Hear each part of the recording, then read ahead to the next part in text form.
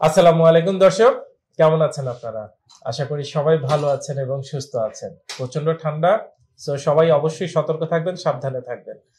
দর্শক, আমার সাথে এখানে বসে আছেন আমাদের একজন বোন, যিনি দীর্ঘদিন যাবৎ পিএলআইডি এবং পিআইডি এই রোগে ভুগছিলেন। সার্ভাইকেলের ডিসপ্রোলাপ ছিল, পাশাপাশি লাম্বারও ডিসপ্রোলাপ ছিল ওনার। সাংসারিক কাজ করতে গিয়ে অনেক সমস্যার সম্মুখীন হতেন। গত এক মাস যাবৎ এই সমস্যাটা প্রকট আকার ধারণ করেছিল। বাট এই ডিপিআরসিতে যখন সন্ধান পান সেই পিরোজপুর জায়গা থেকে চলে আসেন আমাদের এখানে চিকিৎসার জন্য। চিকিৎসা নিতে থাকেন এবং একটা সময় সুস্থ হয়ে ওঠেন। আজকে ওনার সেই সুস্থ হয়ে ওঠার গল্পটাই শুনব ওনার কাছ থেকে। তার আগে একটু পরিচিত হয়ে নিই। আসসালামু আলাইকুম। আসসালাম। আপনার নামটা যদি একটু বলেন আমাদেরকে। মাহবুবা আক্তার। মাহবুবা আক্তার। পিরোজপুর থেকে এসেছেন। পিরোজপুর কোথায়? পিরিসপুর মেইন পিরিসপুরেই মেইন পিরোজপুর শহরে জি জি। আচ্ছা আমরা জানি যে আপনার ঘাড়ে ব্যথা ছিল সেটা অ্যাকচুয়ালি শুরু হয়েছিল কতদিন থেকে বলতেন এই দেড় মাস হয়েছে এখন। চিকিৎসা আমি নিচ্ছি এই দশ দিন। আচ্ছা মানে হ্যাঁ। গত প্রায় দেড় মাস আগে থেকে আপনি ব্যথাটা অনুভব করা শুরু করেছিলেন। তো কোনো দুর্ঘটনা আছে বা কোনো কিছুর পর থেকে কি এটা সমস্যাটা বুঝতে পেরেছেন? নাকি হঠাৎ করে একদিন দেখছেন যে ব্যথা? মানে এর আগের থেকে হাতটা আর কি আমার ব্যথা হইতো মাঝে মাঝে আবার সেরে যেত আচ্ছা। হ্যাঁ। কিন্তু হঠাৎ একদিন যে ঘুম থেকে উঠলাম যে ঘাড় ব্যথা নিয়ে আর। ভালোই হচ্ছে না। ভালো আছেন না, অনেক সময় চলে যাচ্ছে।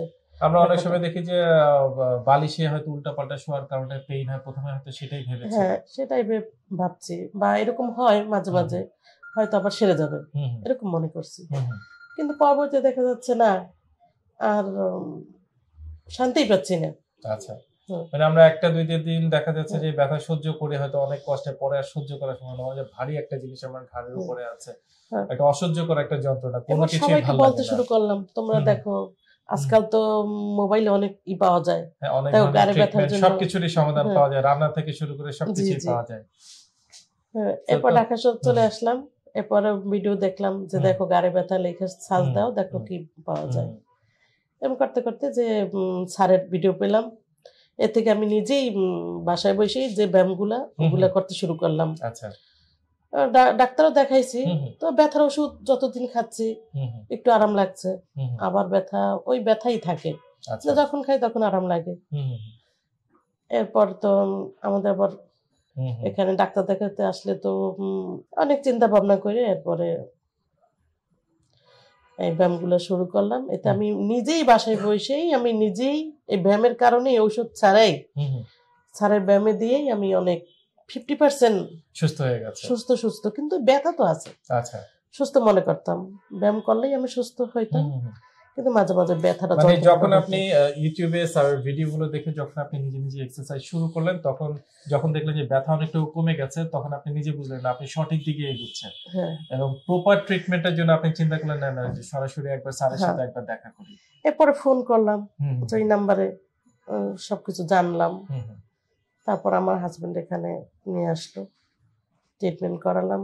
আচ্ছা। স্যারকে পেলাম না স্যার ছিল বাইরে। ওখানে বসে ট্রিটমেন্ট আমার ই করছেন। এরপর এখানে আসার পরে আমি এই দশ দিন ট্রিটমেন্ট শুরু করলাম। প্রথম দিনেই আমি রিল্যাক্স হয়তো আমি ঘুমাইতে পারতাম না। বসে থাকতাম। হ্যাঁ হ্যাঁ।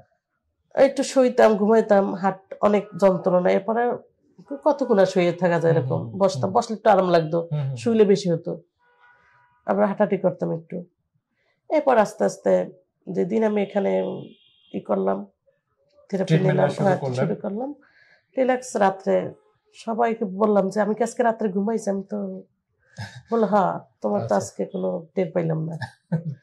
মানে দীর্ঘদিন পরে প্রথম ট্রিটমেন্টে আপনি রেজাল্টটা পেয়ে গেছেন যে আলহামদুলিল্লাহ আপনি শান্তিতে ঘুমাতে পেরেছেন। এবং তারপরে আপনি টানা দশ দিন ট্রিটমেন্ট নিলেন। তো ট্রিটমেন্ট নেওয়ার পরে আজকে এই যে দর্শকের সামনে রিভিউ দিতে এসেছেন আপনার শারীরিক অবস্থাটা কেমন? মানে রেজাল্টটা কি ফাইনাল হ্যাঁ আমি নাইনটি পার্সেন্ট একবারে রিল্যাক্স হয়েছি। হয়তো সামনে আর কিছুদিন আমার বাকি আছে এটা আমি পুরো আল্লাহর রহমতে আমি সুস্থ। আলহামদুলিল্লাহ। অসংখ্য মানুষ আছেন এই মুহূর্তে হয়তো আপনাকে দেখছেন। অনেকেই জানেন না যে আসলে এই ট্রিটমেন্টটা কি বা আদৌ কি মানুষ সুস্থ হয় কিনা। অনেকের একটা আহ, ধোঁয়াশা একটা ধারণা আছে পুরোপুরি অনেকে জানে না। তাদের জন্য আপনি কিছু বলবেন? আমি মনে করি তারাও এখানে আমার মতো আসুক। হ্যাঁ আল্লাহ সবাইকে সুস্থ করুক। এখানে হ্যাঁ, এই স্যারের হাতে সবাই ই কর- হোক সুস্থতা আল্লাহ দান করুক। যেহেতু আপনার জীবনে একটা ভালো জিনিস ঘটেছে আপনি একটা সঠিক সন্ধান পেয়েছেন সবাই অন্তত একবার হলো চেষ্টা করুক। জি। ওকে? এখানে আল্লাহই সব সমাধান। ঔষধে কিছুই করতে পারে না। হুম, আল্লাহর কাছে জিজ্ঞেস করে আল্লাহ আমি কোন পথে যাব? অবশ্যই। জি।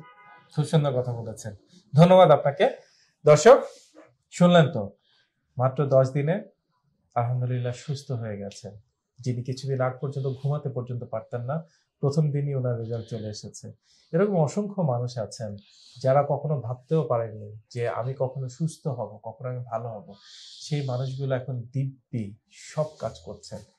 কেউ কোনোদিন বলতেও পারবে না, এই মানুষটাই কিছুদিন আগে বিছানায় শয্যাশায়ী ছিলেন। ভালো থাকবেন, সুস্থ থাকবেন। সঠিক চিকিৎসা নিন, সুস্থ থাকুন সারা জীবন।